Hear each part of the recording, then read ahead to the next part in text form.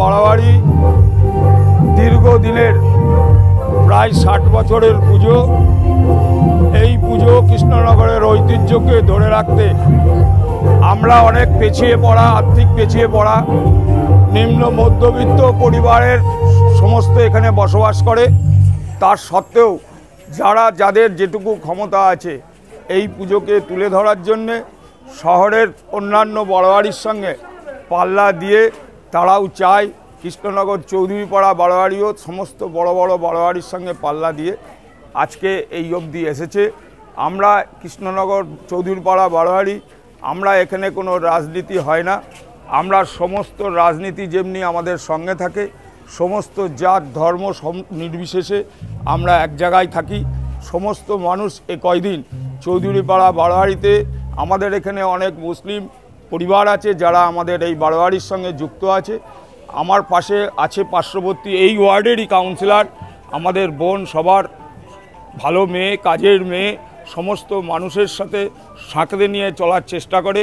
আমাদের পার্শ্ববর্তী কাউন্সিলর বর্ণালী, বারোয়ারিটা আমাদের এগারো নম্বর ওয়ার্ডে অবস্থিত, সেই জন্য সেও আমাদের সঙ্গে আজ উপস্থিত আছে।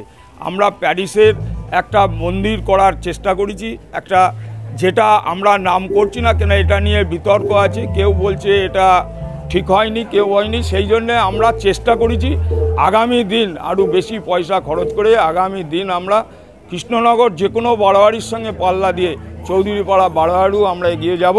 আমাদের আগামী কাল ভাসান হয় না, এটা আমাদের গত বিগত ষাট বছর ধরেই চলছে।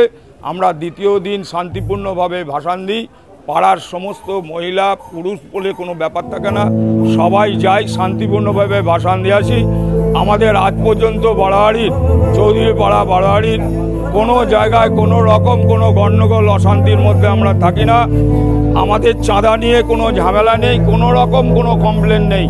তাই চাই প্রতি বছরের ন্যায় এবারও আমরা সবাইকে সাথে নিয়ে আগামী দিনও যেভাবে আমরা চলবো আজকে আমরা সেই পথ দেখাবো। বাজেট কত?